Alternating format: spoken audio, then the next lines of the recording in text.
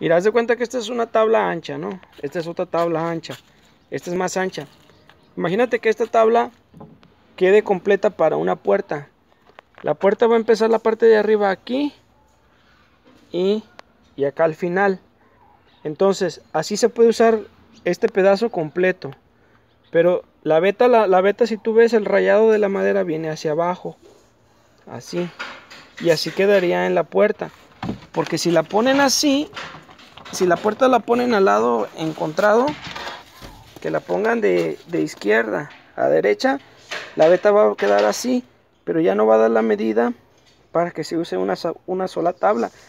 Ya si por ejemplo, aquí esta tiene 40 centímetros y la tabla es de 60, se le van a tener que pegar otros 20, una tabla de 20 acá, para que todas las vetas queden así, es lo que te quiero dar a entender.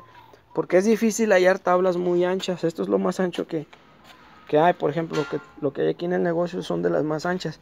Y Toño me dijo que iba a agarrar pura tabla así ancha para que la puerta quedara en una sola pieza. Es el caso de estas, de estos, de esta madera. Las vetas van así y así va a quedar las, así van a quedar las puertas.